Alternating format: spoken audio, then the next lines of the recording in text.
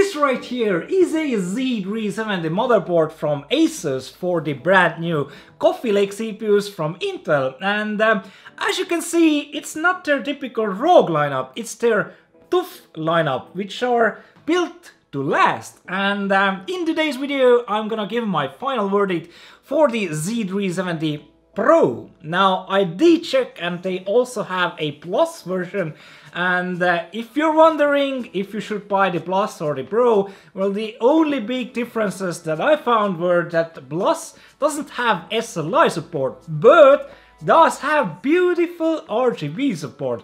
So kind of weird, uh, kind of weird to see the uh, more expensive board uh, not have any RGB support at all. So no RGB lights or, uh, or RGB headers, which is kind of odd.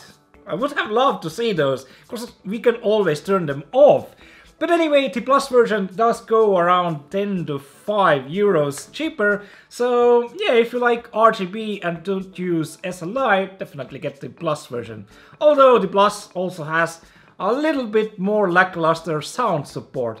But anyway, uh, let's take a closer peek at this motherboard and then I'm gonna talk a little bit about it and in the end of the video I'm gonna give my final verdict for this board. So yeah, if you like the video, subscribe and uh, leave a like and uh, leave a comment if you have any questions. But anyway, let's take a closer peek and let's start discussing about this board.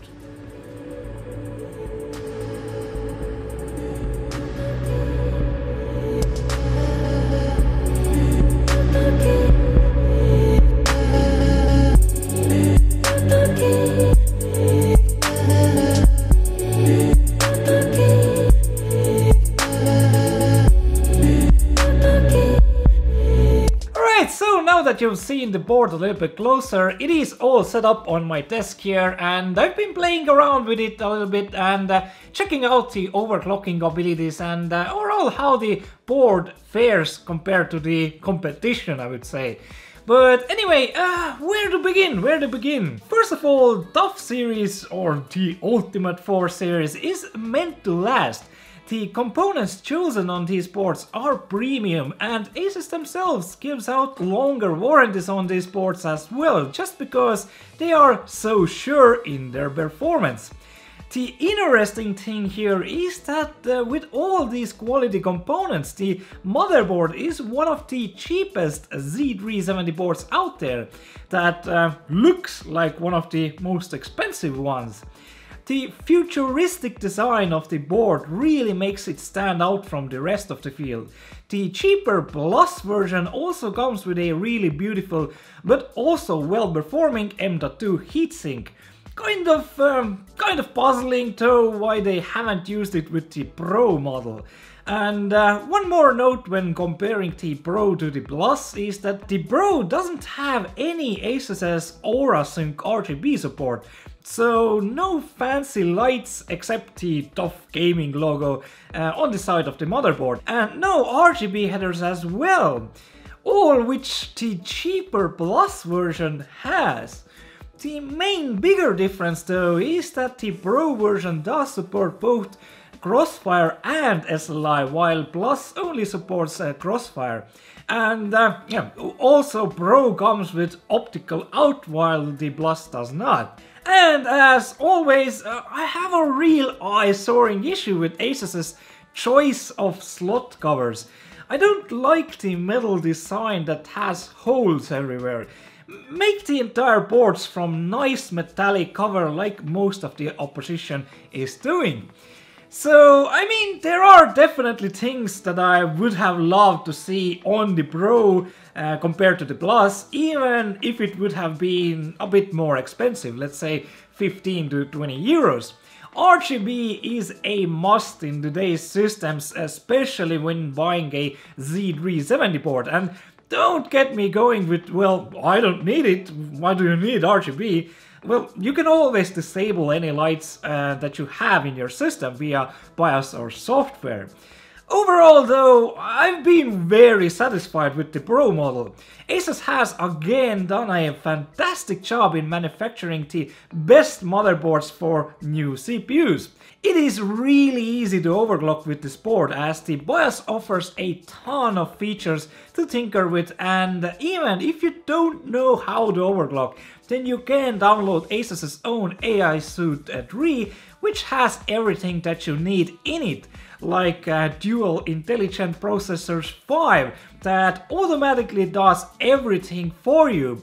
You can set up what you need in terms of performance, let's say 5 GHz, and set the caps uh, for voltage and uh, temperatures. So uh, after you set launch, uh, your PC will start automatically uh, overclocking your CPU to these settings that you set it to. It is so easy, anyone can do it. And uh, yeah, overall I was really impressed with the automatic overclocking system. It does everything for you, it has a built-in stress test, so the PC really uh, tries to get to that uh, performance level that you set it to. So it's gonna do stress test, you can actually um, tell it how long the stress test is gonna last, how much RAM it's gonna be using, so is it more stable all around or just the CPU? And uh, yeah, I mean, it's a really fantastic software if you ask me. And you can also overclock your GPU with it. So if you have your Asus 1080 uh, Ti Strix, uh, it will automatically overclock that as well. So I mean, it's a pretty, pretty freaking nice board for 160 euros. But as I stated earlier, if you don't fancy any auto overclocking, feel free to go into the BIOS and set all your VCore, PLL, SV settings and whatnot down yourself. So there is a ton of stuff to tinker around with in the BIOS. So my final verdict, I'm gonna give the Asus TUF Z370 Pro a proper 8.5 out of 10. The main things going for it are the premium parts, the outstanding look of the board and all the features um, that comes with it like dual M.2 slots, SLI support and great overclocking potential with a very cheap price for a Z370 system. So yeah, that's uh, kind of gonna conclude my review here. My voice is uh, today acting a little bit weird here, uh, so sorry if my words were uh, kind of um, un uh, unheardable, or how do you say it?